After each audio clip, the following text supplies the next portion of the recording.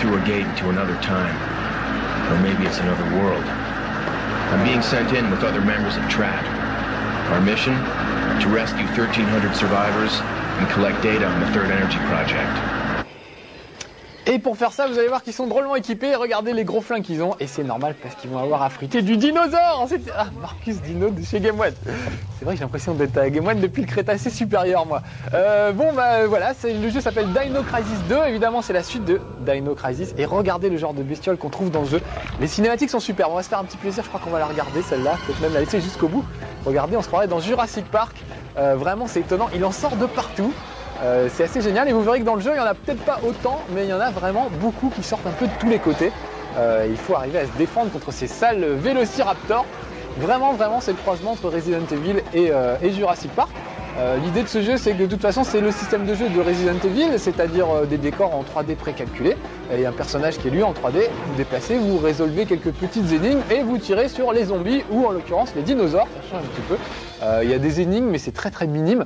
Autant dans les Resident Evil, les énigmes sont un peu plus étoffées, les scénarios étoffés. Là, vraiment, ça se réduit à trouver des clés pour ouvrir des portes, des cartes pour passer dans des trucs. Vraiment, c'est très très simple. Attention, voilà une grosse bébête. J'adore ça, ça super. Moi, j'adore les dinosaures. J'aime bien les dinosaures. Tous les mecs, je crois, en fait. oh la sale bête Attention Voilà, le dinosaure s'abat euh, au bazooka. Sinon, autre chose, ça marche pas. Un petit flingue comme on aura au début, c'est pas très efficace contre un, T-Rex en fait. Euh, donc voilà, donc vraiment c'est du, du Resident Evil et du Jurassic Park en même temps. Allez, je laisse durer encore la petite séquence, elle est trop belle. Euh, et ça fait plaisir de retrouver ça. Simplement, il y a beaucoup moins à réfléchir. Là, vous allez voir qu'ils ont poussé le principe de Dino Crisis 1 euh, au maximum. C'est ah, ah bah il n'y a plus de route. Qu'est-ce qu'on fait? Ah non. Euh, il s'est poussé au maximum, c'est-à-dire que c'est très orienté sur l'action. Vraiment, il va falloir tirer un peu sur tout ce qui bouge et tout ça. Il y a beaucoup moins d'énigmes que dans le dans le précédent épisode. Euh, vraiment, et c'est beaucoup plus jouable, beaucoup plus rapide. Vous savez que dans les Resident Evil, en général, pour tirer sur quelqu'un, il faut se mettre comme ça et tourner. ça prend des heures, c'est super lent et c'était très chiant. Là, tous ces problèmes-là sont résolus dans Dino Crisis 2. C'est beaucoup plus fun, on arrive à jouer tout de suite et tout de suite c'est plus rigolo. Allez, je passe les scènes cinématiques, on va aller dans la bagarre directement. Donc voilà le héros, on commence avec lui euh, très très vite. On aura Regina, euh, la fille qui était dans le, pre- dans, le proche- dans le premier épisode, qui avait un nom de pizza, la pauvre. elle n'a pas changé de nom, mais elle n'a pas changé de look non plus, on la retrouvera. On commence avec lui, mais ensuite on change de personnage au fil de l'aventure. Euh, donc comme d'habitude, quand on appuie sur la croix, ça permet d'explorer un peu, de regarder les objets. On me dit que c'est court-circuitable avec un sabre électrique. Lui n'en a pas, Regina en a un par contre. Euh, donc pour le moment, lui, il peut pas aller plus loin que ça. Voilà un élévateur recouvert de lierre qui peut pas servir à grand chose. Alors regardez bien, en fait, ce qui est nouveau, c'est qu'il peut avoir deux armes. Il a son flingue euh, qui permet de tirer et de se retourner très très vite, ce qu'on pouvait faire euh, dans les tout derniers Resident Evil. Donc ça, c'est pratique. Et puis il a aussi un sabre, voilà, qui sert d'arme secondaire et qui évidemment n'utilise pas de munitions. Donc de temps en temps, quand vous serez à court de munitions face à des vélociraptors, il faudra penser à sortir le sabre. Voilà. Alors, il y a toujours le système d'ouverture des portes. Les temps de chargement sont un peu plus courts qu'avant, mais il y a toujours ce petit temps de chargement qui m'énerve un petit peu, moi, en général. Mais bon, on s'y fait et euh, surtout, c'est plus rapide qu'avant. Donc, allez, on va pas se plaindre. On va dire que ça a été grandement amélioré de ce côté-là. Oh, attention, voilà des bêtes encore. Là, c'est une scène cinématique, ça se voit parce qu'il y a les bandes genre cinémascope, vous pouvez rien faire. Et dès que les bandes s'en vont, hop, c'est à vous de jouer en général. C'est bien d'ailleurs ce système, je trouve c'est bien vu parce que on comprend tout de suite et on sait quand agir et quand ne pas agir. Ouh, là ils sont trois contre moi. Donc mon conseil quand c'est comme ça, c'est de filer le plus loin possible, le plus vite possible sans se faire choper pour trouver un endroit où l'angle de tir nous soit un petit peu plus favorable. Ici ça paraît pas mal. Donc regardez, hop, j'épaule. Alors un truc génial, c'est que automatiquement il s'oriente vers le dinosaure ou l'adversaire le plus proche de façon à pas avoir de soucis. Et euh, c'est pas à vous de, de viser euh, super longtemps. En général, on trouve tout de suite, euh, il se retourne tout de suite automatiquement vers l'endroit où il faut aller. Donc ça c'est bien. Ah, il y a une coulée de boule par là, je pourrais pas passer. Par contre, il y a un medikit. J'ai vu une bestiole arriver juste à ce moment-là. Je vais prendre le medikit et regardez, j'appuie sur le tac sur la touche R1 et tout de suite il se retourne pour tirer sur euh, la bestiole. Donc c'est bien parce que ah, mais il y a ma tête derrière le dinosaure, je ne peux pas le voir. C'est bien parce que du coup, ça marche au réflexe. On n'a pas besoin de viser, on peut aussi viser, mais euh, ça va quand même très très vite. Et ça, c'est vraiment bien euh, parce qu'on s'embête pas. Il s'embête pas trop non plus pour monter les échelles, sauter, etc. Euh, par exemple, là, il y a un dinosaure en haut, un dinosaure en bas. Voilà. Vous avez vu, je suis monté par l'échelle, mais je peux aussi sauter par ici. Alors que dans les anciens Resident Evil, il fallait absolument passer à l'endroit où c'était prévu. Euh, là, s'il y a un petit ravin ou une petite corniche comme c'est le cas ici, il peut euh, absolument se débrouiller pour, euh, ah, pour sauter. Alors il y a un truc pas mal, vous avez vu, il y a écrit combo, c'est un peu bizarre. Là, ça fait 7 dinosaures que j'aligne d'affilée, tant que le mot combo, à chaque fois que je, bute un dinosaure, le mot combo s'affiche.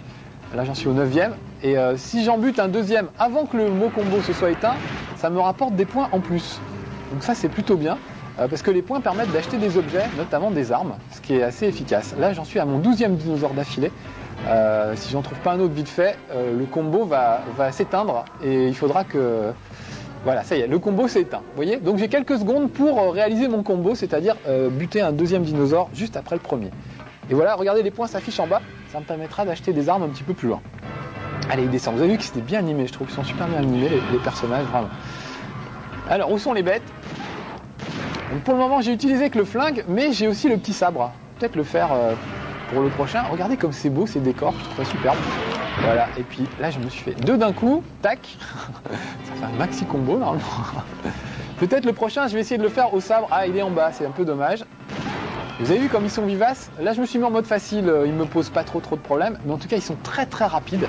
Donc heureusement que le mode de jeu, voilà, a été adapté parce qu'il faut réagir très très vite en général. Euh, il vous laisse pas tellement le temps de, de, faire l'andouille, il faut vraiment appuyer tout de suite sur le bouton et, tirer. Euh, voilà, donc ce mélange d'action et un tout petit peu d'énigme est assez sympa, je trouve.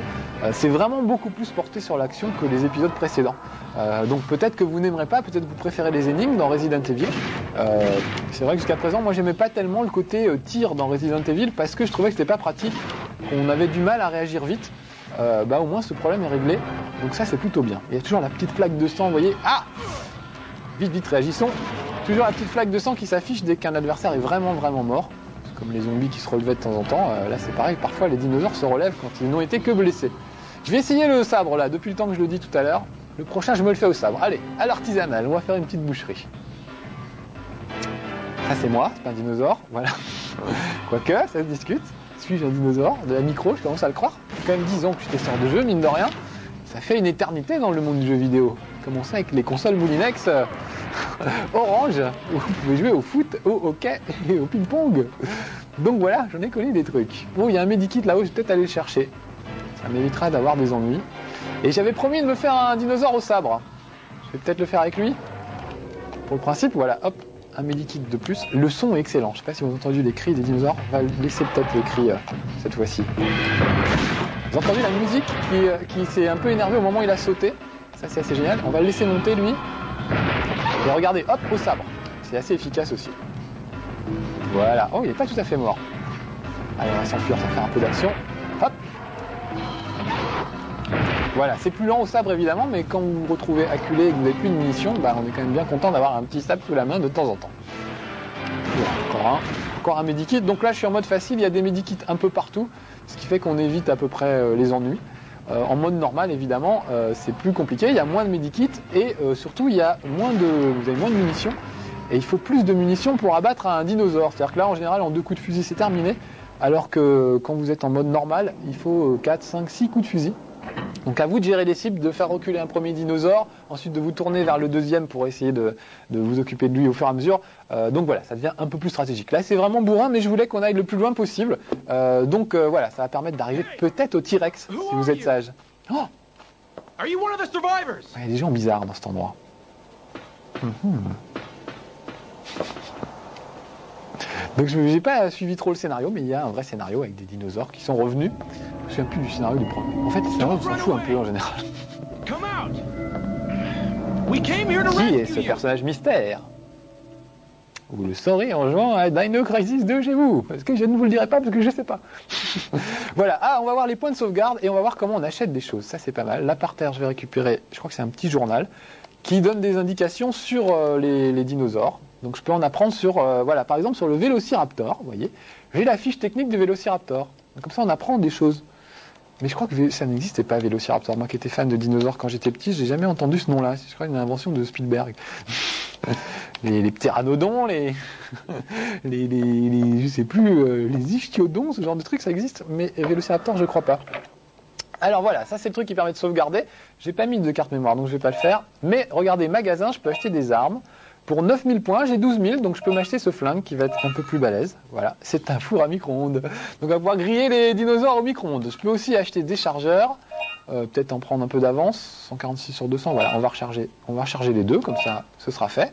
Voilà. Non, j'en veux. Voilà. Alors on donne, euh, voilà, on, me dit combien on veut de munitions à la Madame la marchande, et ensuite, euh, ensuite elle vous les donne. Voilà, je vais ressortir. Donc là, j'ai mon deuxième flingue. Donc je vais euh, le mettre dans mon inventaire. Peut-être le, le prendre tout de suite. Voilà, je vous ai pas fait voir l'inventaire encore. Donc voilà l'inventaire des armes. Vous voyez, il est tout simple, très simple d'emploi. Arme principale, arme secondaire. Je vais mettre le, mon, mon flingue tout neuf. On peut avoir des infos sur ce flingue. Voilà, un prototype qui donne de violentes vibrations pendant quelques secondes. Toujours le petit triangle là, sur le côté. Je vais, ah, je vais vous le faire refaire peut-être. Le faire revoir. Je n'ai pas eu le temps. Voilà, le petit triangle qu'il y a ici euh, permet d'avoir la vitesse, la portée, la puissance. Ça permet en un coup d'œil de voir euh, si une arme est très efficace ou pas efficace. Euh, voilà, c'est tout pour le moment. Donc je garde ça à la main, les objets, on pourra les utiliser tout à l'heure. Il a l'air en forme, mon gars, donc je vais pas forcément prendre un medikit tout de suite. Euh, oh, il y a des bestioles là. On va essayer de rentrer là-dedans. Ah, ah, je me suis un peu trompé de côté. Euh, alors il y a plusieurs chemins. Ah oui, je vous ai pas fait voir la carte. C'est voilà, impossible de rentrer pour le moment par là, avec ce personnage-là en tout cas. Je vous ai pas fait voir la carte, on va la regarder tout de suite. Euh, Il y a une carte qui vous permet de vous repérer. Voilà le chemin qu'on a parcouru jusqu'à présent, euh, avec euh, des bifurcations. Donc à vous de voir quel est le chemin le plus pratique. Il y a des endroits qui sont bloqués à un certain endroit, mais vous pouvez débroussailler ensuite à coup de coup de coupe, vous pourrez passer, vous faire sauter des passages. Enfin voilà, il y a, il y a vraiment plein de possibilités. Pour ceux qui aiment les Resident Evil, les trucs qui font flipper, vraiment, moi je trouve que c'est très très bien. Et encore une fois, là, ça, ça, ça mise beaucoup sur l'action. Euh, donc voilà, tu veux des action man. Ça vous plaira. Oh, une bestiole. Allez, tiens, on va entraîner mon nouveau flingue. Sur ce pauvre dinosaure, vous voyez que c'est quand même très efficace. On peut griller un peu longtemps. Allez, viens là, mon petit bonhomme. Voilà, clac. Je suis inquiet, j'ai peur, j'ai peur qu'il me tombe des trucs dessus. Non, en fait, j'aimerais bien qu'on arrive au, au Tyrannosaurus Rex, ce serait pas mal. Avant que je me fasse étriper carrément par les autres. Voilà, comme ça on n'en parle plus. Là, c'est le chemin est bloqué, donc pour le moment, je ne peux rien faire. On va faire le tour. J'aimerais bien vous faire voir le, T-Rex. Parce qu'il est quand même très impressionnant. Voilà, vous avez vu, là, j'ai échappé un, un Vélociraptor qui était juste dans mon dos. Ça, c'est un peu le reproche que je ferais au Resident Evil, c'est que les, les monstres ne vous suivent pas euh, d'un écran à l'autre quand il y a une porte entre les deux, en fait. Euh, donc ça manque un petit peu de réalisme. Euh, ça, c'est un petit peu dommage, mais bon, c'est pas grave, on est habitué maintenant. Et encore une fois, niveau jouabilité, c'est incroyable ce que ça peut changer par rapport aux autres euh, Resident Evil. Regardez, ça, c'est vraiment comme dans Jurassic Park. Le coup du. C'est dans Jurassic Park 2, le coup du. des du champ de blé ou de maïs ou je sais pas quoi, avec les vélociraptors qui arrivent dans les fourrés. Euh, vraiment comme des missiles, on dirait des, torpilles de, de sous-marins en fait.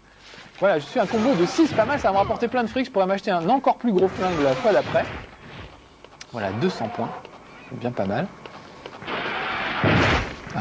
Encore un, un plus. Ne pourrais pas faire de combo, mais voilà. On va pouvoir rentrer là-dedans. Clac.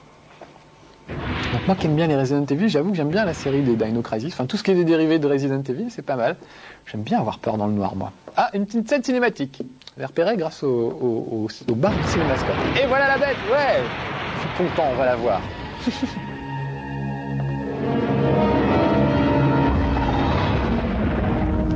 j'ai un, un kit vibration, enfin j'ai une manette euh, DualShock qui vibre. Euh, quand il crie et quand il tape du pied par terre, évidemment, ça vibre. Donc ça, c'est génial parce qu'on est encore plus dans l'action et on est encore plus dans le, dans le trip, quoi. Ça, c'est vraiment bien. Ah, ah, il appelle le bord, parce que je crois que c'est celui qu'on a vu dans la séquence d'intro. Alors là, je vais essayer de me le faire avec mon flingue, mais je pense qu'on va m'expliquer que c'est pas la peine, que ça marchera pas avec ce flingue-là. Une arme normale ne suffira pas pour abattre le T-Rex, vous voyez. Donc il va falloir que je trouve un petit peu plus gros. Il est préférable de fuir rapidement. je suis assez d'accord sur le principe. On essayer de lui passer entre les pattes. Oh oui, c'était bien vu, c'était habile.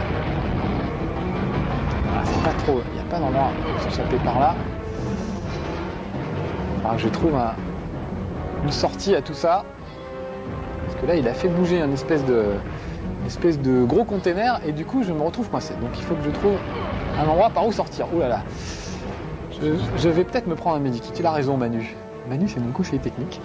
Donc voilà, regardez, objet à guérison, je vais, j'en ai plein en plus des medikits, on va en prendre un médium carrément. Et regardez ma barre de points de vie, tac, ça remonte carrément. Donc je vais aller beaucoup mieux maintenant. Je vais monter à l'échelle derrière, en fait, on va faire le tour par là. Allez, grimpe petit bonhomme, voilà. Voilà, on va se faire choper, oui. Voilà, comme ça j'ai fait le tour d'un container, je vais pouvoir accéder à l'autre partie de la carte. Vous entendez les cris Je ne sais pas s'ils les ont repompés dans Jurassic Park. Euh, c'était assez étonnant le travail qui a été effectué sur les cris de Jurassic Park. Je ne sais plus si c'était des tigres, a un éléphanto, a... c'est un mélange de, de plusieurs cris d'animaux en fait, c'est assez étonnant, ralenti et remixé bien sûr. Euh, mais les sons sont excellents, vraiment. Vite, fuyons. Waouh. Ouais, j'adore ça, j'aime bien les dinosaures. Bon, là, j'ai le choix entre deux portes, on va prendre. Aïe, aïe, aïe, aïe, aïe, aïe, aïe. Regardez ça comme c'est beau, voilà. Et là, on me tire dessus. En plus du dinosaure, c'est quand même pas le dinosaure, il a des trop petites pattes, il peut pas tenir un flingue. Donc, c'est ces espèces de personnages un peu bizarres. On se demande s'il n'y aurait pas une histoire de voyage dans le temps avec des combinaisons, des gens qui ont ramené des dinosaures, on sait pas trop. Donc voilà, allez, on rentre à l'intérieur et on va aller se battre à l'intérieur. Normalement, c'est un peu plus calme à l'intérieur. Voilà, donc on se retrouve euh, grand classique des Resident Evil euh, en intérieur, alors que pour le moment vous avez vu que c'était plutôt des scènes d'extérieur, ce qui est assez rare. euh, c'est vrai que c'est toujours dans des maisons hantées et tout ça, les Resident Evil. Là, on était dans la jungle, ça change un petit peu. Ça change pas le principe, mais au moins ça aère quelque peu. On va visiter, je crois qu'il y a une infirmerie, voilà. Elle est ici, tac. On va aller voir l'infirmerie, on va peut-être récupérer quelques médikits et quelques informations. Et on va voir comment ça se passe. Hmm, L'ambiance est pas mal. Donc là, encore une fois, je pourrais sauver. Euh, Est-ce que je peux acheter des flingues? Je crois pas que j'ai fait assez de, carnage pour récupérer. Voilà, des notes du médecin. Donc on en apprend, je vais pas la lire en entier, mais on apprend des choses sur le scénario au fur et à mesure, évidemment. Au fur et à mesure que ça avance. Voilà. Il on n'aurait pas dû jouer avec le feu. tu m'étonnes, tyrannosaure de 20 mètres de haut dans le jardin. voilà, on peut fouiller les pièces. Là, j'ai trouvé hmm, une clé plate. C'est ça qui me trouve un peu minable dans la Resident Evil, c'est le niveau des énigmes. Toujours trouver une clé pour ouvrir une porte. Voilà, quand même un medikit. Euh, voilà, comme ça, je suis tranquille, je pourrais me soigner en cas de problème. Oh là, c'est bientôt fini ce level 1, donc je suis content, vous aurez vu le tyrannosaure, on aura vu pas mal de choses. J'espère que ça vous aura donné envie. Euh, encore une fois, si vous êtes fan du genre, je pense que vous apprécierez. Si vous accrochez pas, bah vous accrocherez pas plus qu'un Resident Evil. Voilà, allez, c'est tout pour aujourd'hui. Dinosaure qui m'attend dans le couloir, peut-être pour finir. Ouais, allez, on s'en shoot deux et on se dit au revoir. Soyez sages, à bientôt.